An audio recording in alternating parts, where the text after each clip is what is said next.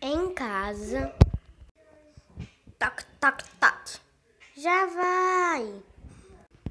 Quem será que tá aqui? Deixa eu abrir.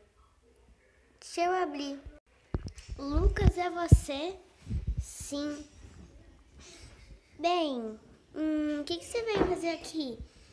Bem, eu vim te chamar pra ir tomar sorvete. É um convite de um dos meus amigos. Ah, tá. Não se preocupa. Eu vou ver se eu tenho agenda livre. Bem, uh, e você não conhece ele, mas eu te garanto, é legal. Ah, tá. E depois você quer passar na academia que eu treino? Ok. Só vou pôr uma roupa ideal pra isso. Fica aí. Ah, tem uma poltrona pra cá. Se você quiser sentar nela, pode sentar. Ah, ok. Fica aí, eu só vou me trocar e ver se eu posso.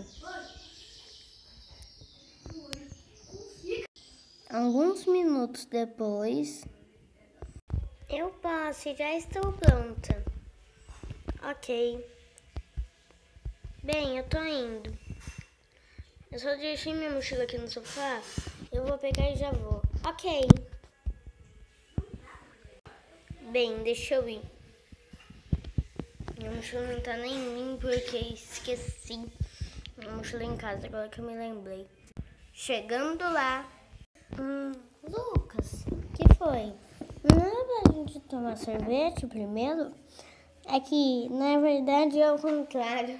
Que o sorvete é só daqui a algumas horas. Então aí eu decidi chamar você pra vir aqui. Ah, tá tudo bem.